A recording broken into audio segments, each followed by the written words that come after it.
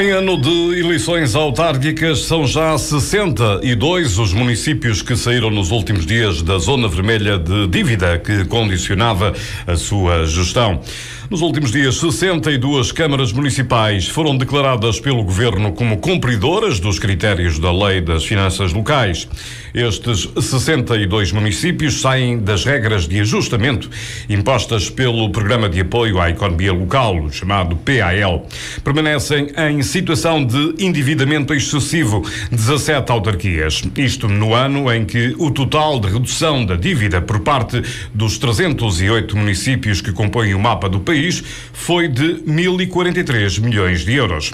De acordo com a Lei das Finanças Locais, cada município está obrigado a não contrair dívida que ultrapasse 1,5 a média da receita corrente líquida dos três anos de exercício anterior, ou seja, 1,5 da média da receita conseguida com as transferências no Orçamento do Estado, as taxas e os impostos municipais, por exemplo, sobre as transmissões e sobre imóveis, assim como o imposto único de circulação e a própria derrama.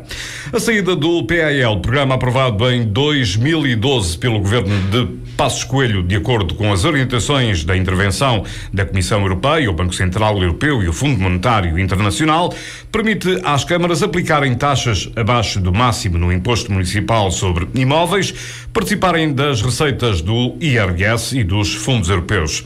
Podem também contratar pessoal, comprar bens e ou serviços e adjudicar empreitadas acima dos limites que obrigam a concurso público.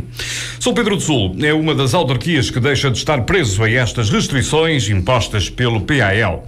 Em declarações a Lafões, Pedro Mouro, vice-presidente da autarquia e vereador com a área financeira, considerou esta uma notícia muito benéfica para o Conselho. Bom, é, é uma notícia extremamente importante e benéfica uh, para o município, para São Pedro Sul e, sobretudo, para as pessoas de São Pedro Sul, porque, como sabe, uh, em 2012 e depois com a sua efetivação em 2013, uh, eh, a Câmara Municipal, por endividamento excessivo, teve que aderir ao programa PAL, que na altura foi implementado pelo Governo de então.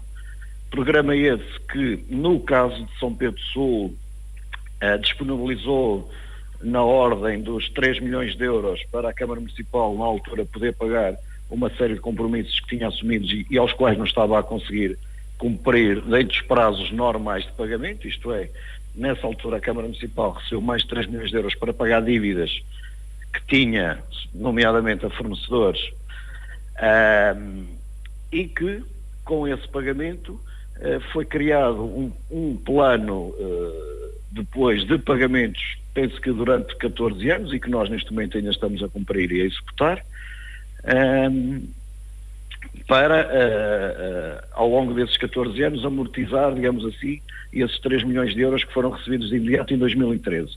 Contudo, e como consequência dessa adesão ao PAL, houve um conjunto de, de, de, de planos de ajustamento definidos pelo próprio programa, aos quais a Câmara Municipal um, teve que aderir, nomeadamente em termos de maximização uh, da receita uh, e, sobretudo, no, no, que toca a cortes nas despesas correntes, uh, um, um, conjunto enorme de medidas. Eu recordo a, a questão de, da redução, por exemplo, da, dos custos com a eliminação pública, o aumento gradual da, das tarifas da água um conjunto de, de, de, de, critérios aos quais a Câmara Municipal teve que se comprometer a executar por força desse recebimento desses 3 milhões de euros.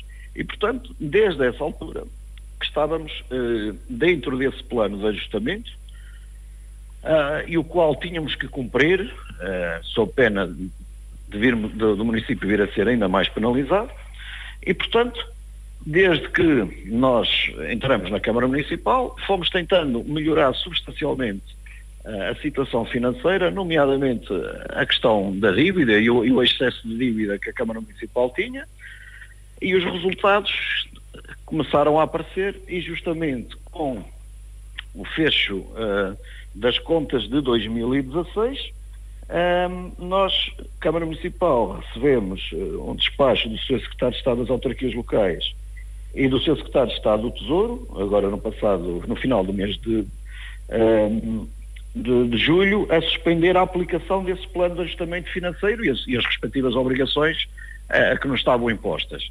E, portanto, acaba por ser uma, uma notícia extraordinária para o nosso Conselho, porque, de facto, hum, saímos, digamos assim, desse colete de forças a que estávamos sujeitos. Obviamente, temos que continuar a pagar as prestações decorrentes desse, uh, desse valor que nos foi disponibilizado uh, no início de 2013. As prestações ou as amortizações continuam a ser pagas, mas deixamos de estar sujeitos ao plano de ajustamento, a todos esses condicionalismos a que estávamos sujeitos. Agora, obviamente também, este processo não encerra aqui, porquanto todos os anos é feita nova avaliação e nós não podemos correr riscos de voltar a atingir esses patamares de excesso de endividamento, sob pena de voltarmos a ter eh, penalizações uh, que possam ser prejudiciais para, para o nosso Conselho, nomeadamente na, na, uh, na redução ainda mais evidente de algumas despesas correntes que possam ter efeitos imediatos no dia a dia do, do, do São Pedrense e até também uh, na maximização de algumas receitas, quer seja do IMI, quer seja do, das, de algumas tarifas que, que, que, são disponibilizadas ou que são custeadas pelo São Pedrense. E, portanto, é de facto, São Pedro Sul está de parabéns por fazer parte deste conjunto de 57 municípios uh, que saíram deste, deste plano de ajustamento. Agora é preciso ter os pés bem aceitos no chão, não voltar a cometer estes erros, não entrarmos em demagogias, fazermos e executarmos aquilo para o qual temos capacidade financeira para fazer. E, portanto, acho que essa é a grande leitura e a grande lição que devemos tirar daqui, sermos realistas, gastarmos apenas o que temos e, e sermos cada vez mais eficientes na, na gestão financeira de, de, das contas públicas. Pedro Moura adianta ainda que com esta saída do PAL é expectável que no próximo ano possam surgir novidades no orçamento do município, nomeadamente ao nível da participação do IRS. Bom, um, ehm, no que concerne ao IMI, nós já estamos com a taxa, com a taxa de IMI eh, mais baixa permitida por lei.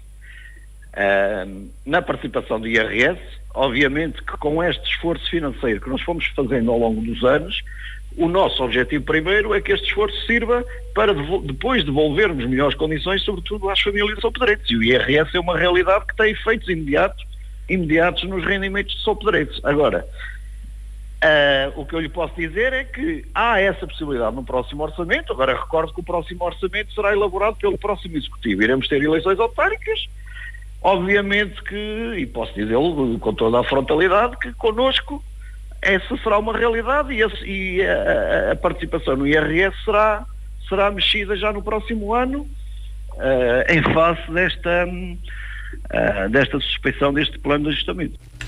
Pedro Mouro, vice-presidente da autarquia de São Pedro do Sul e vereador responsável pela área financeira a propósito da saída do município são pedrense do programa de apoio à economia local.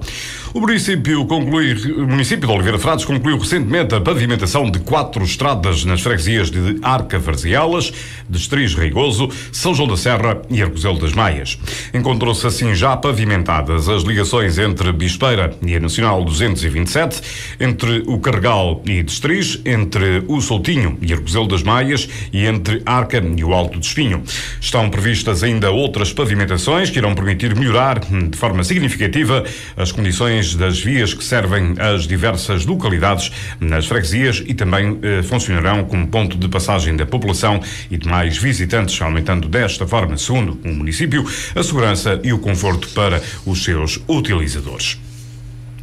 A Guarda Nacional Republicana deteve um idoso de 72 anos, suspeito de posse ilegal de armas de fogo no Sátão, na sequência de um processo relacionado com violência doméstica.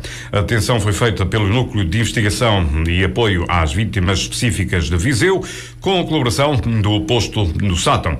A realização de uma busca domiciliária permitiu a apreensão de nove armas de fogo e ainda 504 munições. A Guarda Nacional Republicana deteve também um homem de 42 42 anos, em Lamego, por posse ilegal de armas de fogo. Segundo a GNR, no âmbito de uma investigação por posse ilegal de armas, foi efetuada uma busca domiciliária, tendo sido apreendidas três armas de fogo e um total de 24 munições. Depois de presente ao Tribunal Judicial de Lamego, o homem ficou sujeito a termo de identidade e residência e ao pagamento de injunção. A Câmara Municipal de São Pedro do Sul, em parceria com a Termalistur e colaboração da União das Freguesias de Santa Cruz da Trapa e São Cristóvão de Lafões, vai promover no próximo dia 19, pelas 18 horas, o percurso do Romano aos Monges.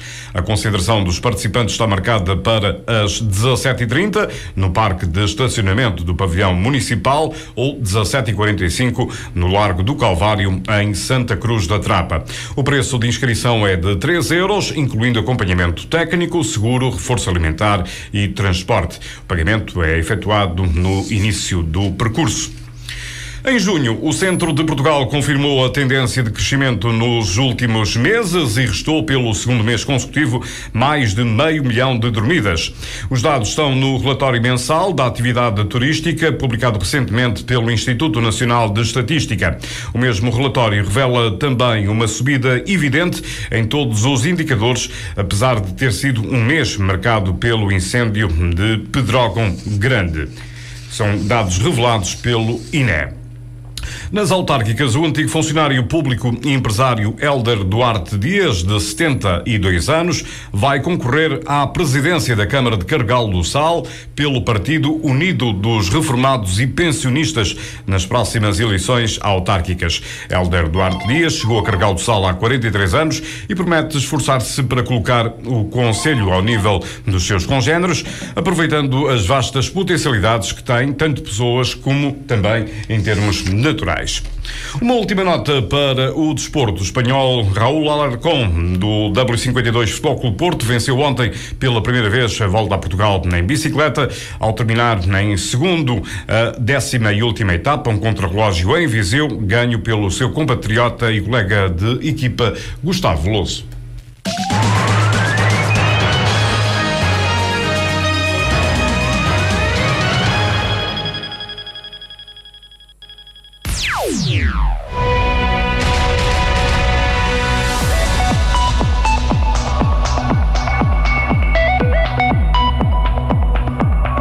Lafões FM. Por si, damos todas as notícias. Lafões FM. Mesmo as más.